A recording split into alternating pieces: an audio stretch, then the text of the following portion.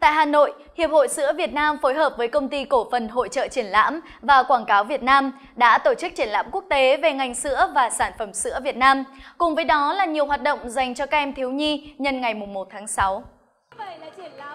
Đây là triển lãm quốc tế về sữa, sản phẩm sữa lần đầu tiên được tổ chức tại Việt Nam. Sự kiện là dịp để các doanh nghiệp, các nhà quản lý, chuyên gia dinh dưỡng, cơ sở chăm sóc sức khỏe, các trường học, cơ sở giáo dục và người tiêu dùng tìm hiểu và biết tới các sản phẩm sữa cả trong và ngoài nước. Hôm nay Abot có những một số cái mặt hàng và có những phần quà tặng à, dành nhân ngày 1 tháng 6 cho các bạn các bạn à, các cháu thiếu nhi cũng như là các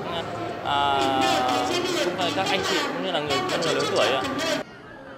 Đồng hành cùng sự kiện là chương trình Ngày hội Quốc tế Thiếu nhi mùng 1 tháng 6 là ngày hội thực sự dành cho các em nhỏ. Tại triển lãm dành một không gian vui chơi tươi vui, phong phú với nhiều trò chơi được các em nhỏ yêu thích. Cùng với đó là chương trình tặng sản phẩm, tư vấn sử dụng sản phẩm của các nhãn hàng tham dự tại triển lãm, tư vấn chăm sóc sức khỏe, dinh dưỡng, kỹ năng sử dụng sữa và các sản phẩm chế biến từ sữa.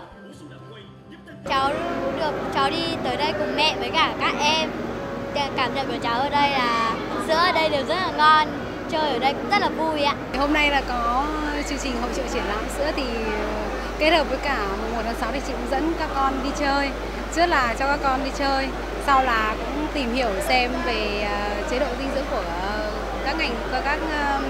hãng sữa, xem là hãng nào phù hợp với ờ, sức khỏe của con mình. Triển lãm diễn ra vào dịp Tết Thiếu Nhi mùng 1 tháng 6 với các sản phẩm chủ đạo về ngành sữa đã thực sự mang đến cho các bậc phụ huynh và các em nhỏ tìm hiểu thêm về các sản phẩm sữa đã và đang được sử dụng trên thị trường, cũng như nhu cầu sử dụng trong mỗi gia đình và trẻ nhỏ.